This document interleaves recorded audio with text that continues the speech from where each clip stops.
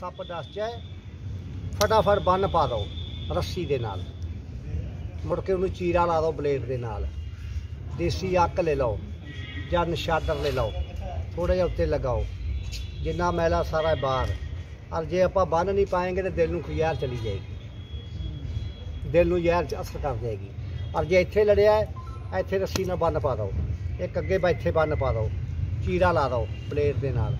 ਜੋ ਜ਼ਹਿਰ ਹੈ ਸਾਰੀ ਬਾਹਰ। ਆ ਘਰ ਘਰ ਦੇ ਵਿੱਚ ਸੱਪ ਹੈ ਖੇਤ ਦੇ ਵਿੱਚ ਸੱਪ ਹੈ ਉੱਥੇ ਦੁੱਧ ਦਾ ਛਿੱਟਾ ਲਾਓ ਸੱਪ ਚਲਾ ਜਾਏਗਾ। ਔਰ 6 ਮਹੀਨੇ ਸੱਪ ਦਾ ਵਰਤ ਹੈ। ਹੁਣ ਸੱਪ ਜਿਹੜਾ 6 ਮਹੀਨੇ ਕੱਖ ਨਹੀਂ ਖਾਂਦਾ। 6 ਮਹੀਨੇ ਦਾ ਨਾਗ ਦਾ ਵਰਤ ਹੈ ਔਰ 6 ਮਹੀਨੇ ਇਹਨੇ ਸਵਾਤਰੀ ਦੇ ਬਾਅਦ ਜੋ ਵੀ ਲੰਗਰ ਪਾਣੀ ਨੇ ਆਪਣੇ ਆਪ ਖਾਣਾ ਹੈ। ਔਰ 6 ਮਹੀਨੇ ਨਾਗ ਕੋਈ ਚੀਜ਼ ਨਹੀਂ ਖਾਂਦਾ। ਐਡਾ ਐਡਾ ਕਾਮਯਾਬ ਵਰਤ ਹੈ ਨਾਗ ਦਾ। ਇਹ ਕਿੰਨੀ ਪ੍ਰਕਾਰ ਦੇ ਹੁੰਦੇ ਇਹਦੀ ਨਸਲਾਂ ਹੁੰਦੀਆਂ ਕੋਤਰਸੋ ਨਸਲ ਹੈ ਸੱਪ ਦੀ। ਕੋਤਰਸੋ ਨਸਲ ਹੈ 300 ਮੂੰਹੀ ਹੈ ਬੜੇ ਬੜੀ ਤਗੜੀ ਨਾਗ ਹੁੰਦੇ ਇਹਨਾਂ ਦਾ ਕੋਈ ਅੰਤ ਹੀ ਨਹੀਂ ਨਾਗਾਂ ਦਾ। ਸਭ ਤੋਂ ਜ਼ਹਿਰੀਲਾ ਕਿਹੜਾ ਨਾਮ ਸਭ ਤੋਂ ਜ਼ਹਿਰੀਲਾ ਕੋਪਰਾ। ਉਸ ਤੋਂ ਆ ਗਿਆ ਸੰਖਚੂੜ ਧਾਰੀ ਵਾਲਾ।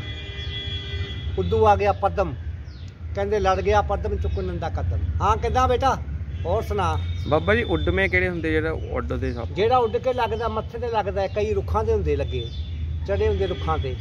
ਔਰ ਜਿਹੜਾ ਉੱਡਣਾ ਸੱਪ ਹੁੰਦਾ ਉਹ ਇਸ ਤਰ੍ਹਾਂ ਚੱਲਦਾ ਜਲੇਬੀ ਵਾਂਗੂ। ਗੁੱਛੀ। ਬੈਕ ਚੱਲਦਾ ਬੈਕ ਸਾਈਡ। ਉਹਨੇ ਇੱਥੋਂ ਛੜੱਪਾ ਮਾਰਨਾ ਠੱਚ ਦੇਣੀ ਇੱਥੇ ਆ ਕੇ ਲੱਗਣਾ ਮੱਥੇ। ਉਹਨੂੰ ਬੋਲਦੇ ਉੱਡਣਾ ਗੁੱਛੀ ਨਾਗ। ਹਾਂ। ਬਾਕੀ ਇਹਨਾਂ ਦੇ ਬਾਰੇ ਮਣਕਾ ਹੁੰਦਾ ਸੱਪ ਦਾ। ਮਣਕਣਾ। ਮਣਕਾ ਜਿਹੜਾ ਜ਼ਹਿਰ ਚੁੰਗਦਾ ਹੈ। ਅਰਨਾ ਬੂਟੀ ਹੁੰਦੀ ਏ ਇਹ ਅਰਨਾ ਬੂਟੀ। ਸੱਪ ਲੜਦਾ ਹੈ, ਠੂਮਾ ਲੜਦਾ ਬਿੱਛੂ ਲੜਦਾ ਇਹਦਾ ਤਿੰਨ ਏਦਾਂ ਕੜੇ ਪਾਓ ਜਿਹੜੀ ਜ਼ਹਿਰ ਅੱਗੇ ਨਹੀਂ ਜਾਏਗੀ। ਬੰਦਾ ਨਹੀਂ ਮਰੇਗਾ ਇਹਦੇ ਨਾਲ। ਕੀਲ ਕਰ ਦਿੰਦੀ ਇਹ। ਇਹਨੂੰ ਬੋਲਦੇ ਅਰਨਾ ਬੂਟੀ। ਕਹਿੰਦੇ ਅਰਨਾ ਤੇ ਸੱਪ ਨੇ ਕੀ ਕਰਨਾ? ਤੇ ਪਏ ਸਾਡੇ ਹੱਥ ਪੈਰ ਕਾਦੇ ਪਏ।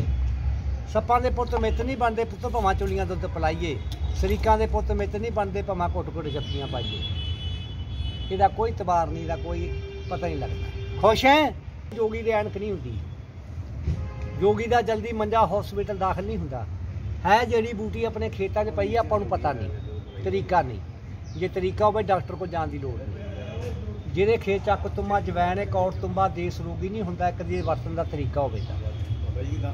ਸਮਝ ਗਏ ਇਹ ਜਿਹੜੀ ਚੀਜ਼ ਹੁੰਦੀ ਹੈ ਮਮੀਰਾ ਹੁੰਦਾ ਮਮੀਰਾ। ਜੜੀ ਵਾਲਾ ਮਮੀਰਾ, ਲੱਕੜੀ ਹੁੰਦੀ ਹੈ ਇਸ ਤਰ੍ਹਾਂ। ਐਦਾਂ ਪਾਣੀ 'ਚ ਭਿਓ, ਉਹਦਾ ਪਾਣੀ ਦੀ ਬੂੰਦ ਪਾਓ, ਅੱਖਾਂ ਦੀ ਸਫ਼ਾਈ ਕਰ ਲੈਂਦਾ ਸਮਝਣਾ ਹੈ? ਹਾਂ ਜਾ ਪਾਣੀ ਲੈ ਕੇ ਆ ਲੈ ਤੇਰੇ ਸਲਾਈ ਪਾਈਏ